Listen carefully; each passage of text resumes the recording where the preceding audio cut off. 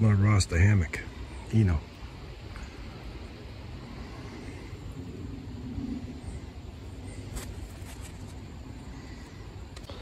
So I uh, put a new line up. This is the line that was in my pack. This is what was supposed to go for this, not this one. Uh, it's not as good. And um, and I instead of doing a standard Prusik, I did the Klemheist, and it's it's really holding well. And uh, you know, nothing fancy here. No piece of apparatus in the woods over here. But uh, so I'll do that. Be close. It's not the biggest thing. Not the best situation as far as uh, staking out things. I could stake things out, but uh, not exactly the way I want it. So I'm gonna take this line down. I got that one up there. I'll take that one down. Use the one that I wanted. So, and then I just have the regular ridge line in the ham. The hammock's all set to go. So we're good to go, man. I don't think we'll get rain tonight, but it's going to be cold, 40, 45. I mean, it's not bad, but uh, I've been down to 30.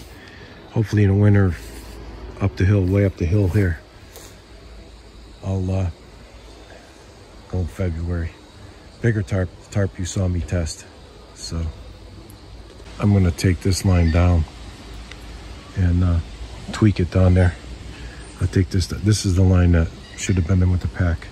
Tarp's a little small. Of course, if I did it on a different angle, it'd be uh, better, but I'm not gonna do that right now. So we'll be fine. Not, I don't think it's gonna rain tonight, but we'll see. So there's the apparatus way in the woods. I mean, it still runs, but it's hardly been used. So there's like a trail here. I'm off the side of the trail, but it's uh, all kinds of critters here. So I've been told. I never had a problem. They're pretty stupid if they come here because all the food down below on the bottom of the hill. So I'll get back to finish this.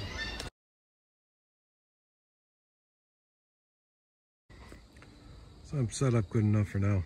And uh, go back to my truck and go down below the hill. See what's going on down there. Got some good food cooking down there. So I'll be ready. I'll come up here tonight and sleep here. Be fine, man. Yeah. Nothing fancy, that's for sure. But, uh, check it out. Yeah, little tripod there holding one side up. But it should be fine, man. Be good enough. Squinty ass fair ride. Catch you later on.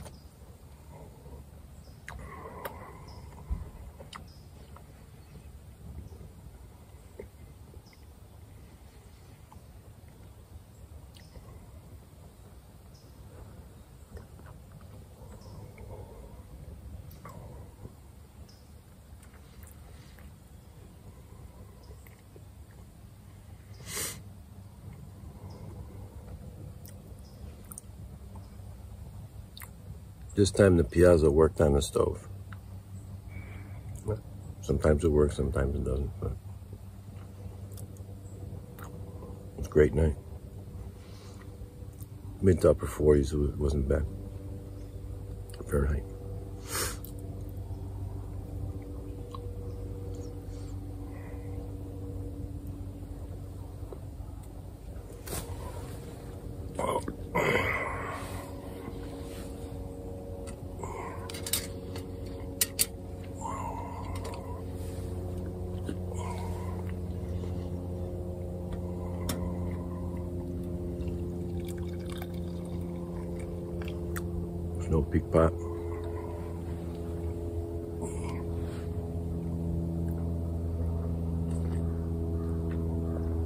It's one of my cottonwood uh, kuksas. Ugly, but I love it.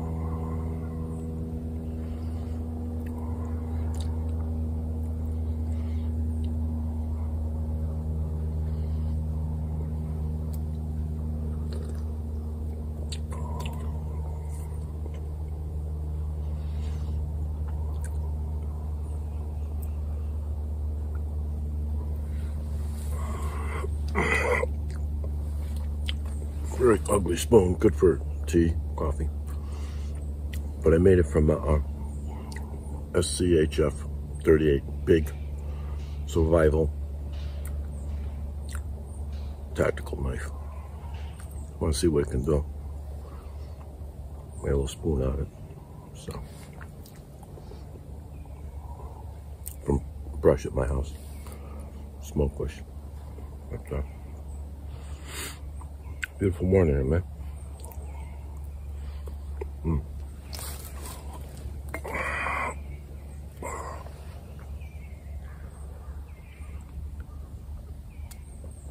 Oh yeah. It's good, man.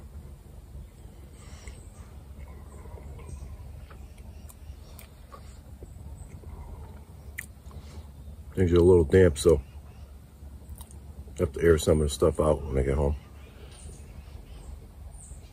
Yeah. But, uh, even though we got a lot of rain, still dry. There. There's usually a stream running right over here. Brook. Sometimes they get water from there, but not running at, at all right now. So, careful with fire. I just use the stove.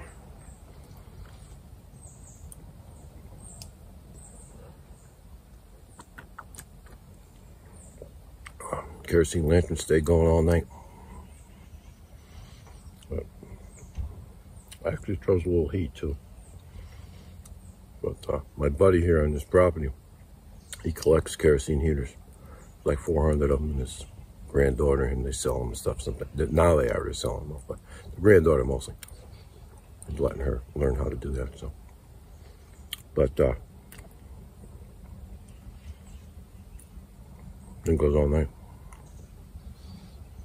So it's Quinies Monferra. Even though I have some uh, David's Tea, Mother's Little Helper. But in here I have Hula Girl coffee. And uh, so it's Quinies Monferra.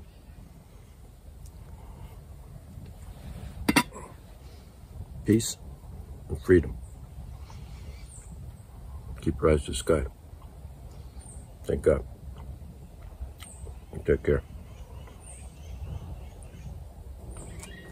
Thank you.